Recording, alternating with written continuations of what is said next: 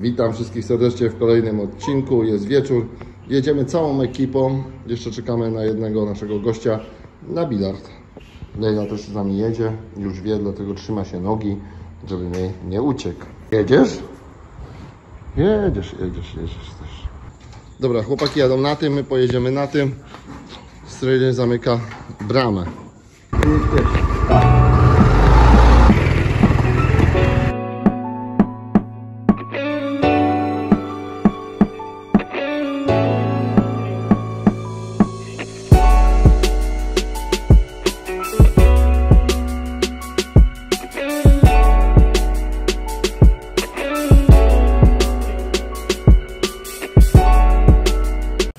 Słuchajcie, byłem całkowicie wygrany, a wbiłem czarną, ale dobra, teraz kolega zamówił bigos, ja sobie robię mielonego, tak więc do usłyszenia po podaniu. Bigos z chlebem przygotowany. Słuchajcie, witam dnia kolejnego, śniadanie podane, kawa podana, skuter wypożyczony. Tak zaczynamy dzień. No, Dobra, słuchaj, to widzimy się, nie? tak, widzimy się, trzymaj. Dobra. Chłop jedzie jeszcze teraz do Kampotu pociągiem. Zresztą on tam ma jakieś walizy jeszcze i tak dalej, bo też był u, u, u chłopaków tam House of Guest, u Life. Ale jeszcze przyjedzie, bo tam mamy pewne sprawy do obgadania.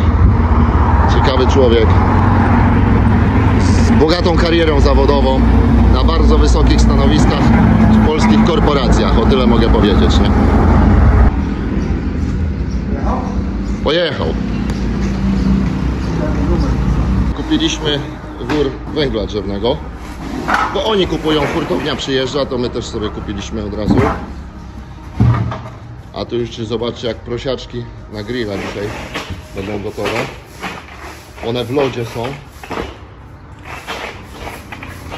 Słuchajcie, ja tak wam powiem, bo nie wiem, w Polsce węgiel drogi, nie? A u nas za taki wór do 7 dolarów zapłaciliśmy. Amerykańskich. Oczywiście węgla drzewnego. Australia zamiata, zaraz widzę, dzisiaj jakoś się wzięła, jakieś nie wiem, znaczy codziennie sprząta podłogę i tak dalej, ale dzisiaj to tak działa wszystko. Ale Leila zasnęła u pana tutaj pod biurkiem, pod nogami, przez co mi przeszkadza, bo nie mogę sobie nóg wyciągnąć. Dobra, nasz gość wziął, wypożyczył skuterek. Będę, będę cały czas i jedzie na, na ten, na wodospad. Do zobaczenia. Do zobaczenia.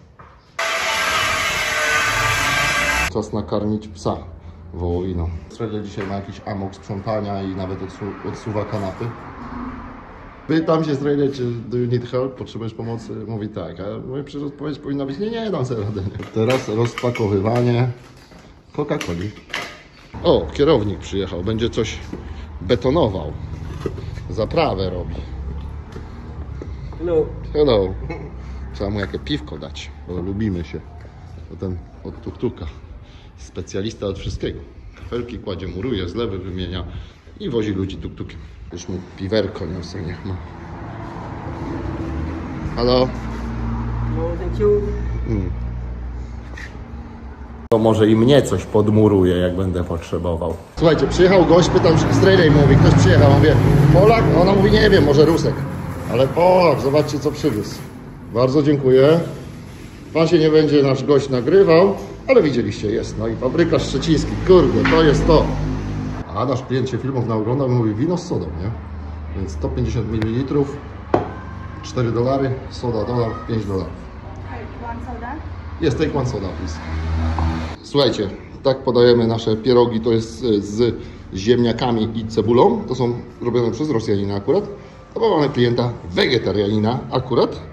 Także takie coś. Trochę pieprzu na górę. Dosolisz to niestety dosoli sam do smaku. Słuchajcie, no i tak tutaj kurczę, to po amerykańsku można powiedzieć, po polsku. E, takie oliwki, takie oliwki sobie tutaj pan klient winko do tego, nie? A Srejlej z boku ciężko, ciężko pracuje na tarze, jak to na wsi drzewiej bywało. Skarpety i tak dalej. Nie wiem dlaczego nie używa pralki, pralka jest. Ona mówi, że woli tak. Słuchajcie, rozmrażamy kolejny chleb, bo się nam skończył. A stroje... Lejla się oczywiście znowu umorusała, wykąpała. Zobaczcie, gdzieś tam cała była myta jest tego. Sobie skończyła rybkę. No i co? Tyle. Dzisiaj Sreja i Lejla miały spięcie, Bo ja to tak pobłażam.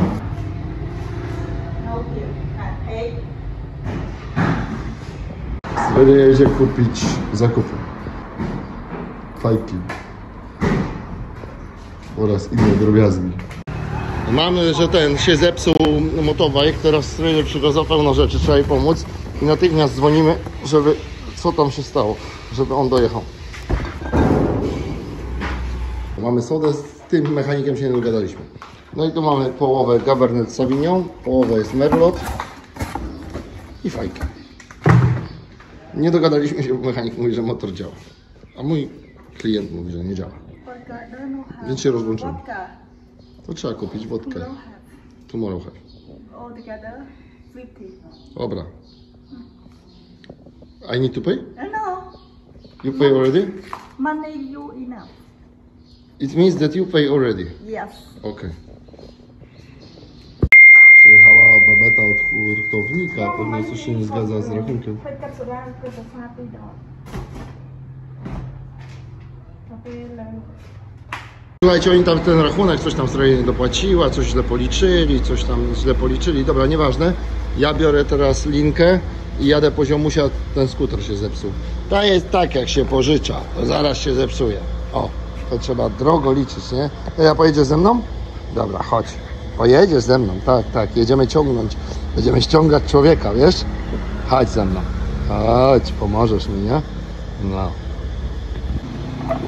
Będziemy ciągnąć gości. Tu są dymy z tymi psami. Chodź tu do mnie, chodź. Kurwa, co za warsztat. Gęsi tu biegają, Lejla tu biega. No. Kurde, jaka tu walka, psy na Lejlę. Już mi poszły stąd. Już, chodź Lejla, wyprowadzam cię. Już! Psy z łańcuchów jakieś, kurde, już motor naprawiony. A Lejla kaczki, kury, gęsi. Dobra, jedziemy, jedziemy, wracamy. Mamy zamówienie na, na pierogi i na pizzę. Polskie pierogi podane. O właśnie, w ten sposób. A już sobie klient sam do soli, sam do pieprzy, bo tam pieprz można przecież, ale to już wolę pięca. Słuchajcie, w sumie pierwszy raz robię taką pizzę, grzybki i oliwki, bo tak sobie klient zażyczył, nic więcej. I mój imiennik chce sobie wrzucić pizzę do piekła, delikatnie. Proszę, o, światło zapalimy. Jest ok. Dobra. No powiem wam, że takiej pizzy w życiu nie robiłem, ale wyszło. Ale wyszło. Elegancko. I voilà, idzie dla klienta. Słuchajcie, nie sprzedała się 20 na pizzę, robimy z tego bagietki takie. No, lepiej coś tym złużyć. Trochę nawet je ładnie podmalujemy. Zawsze lepiej niż wyrzucić. A bagietki wyjdą z tego świetne.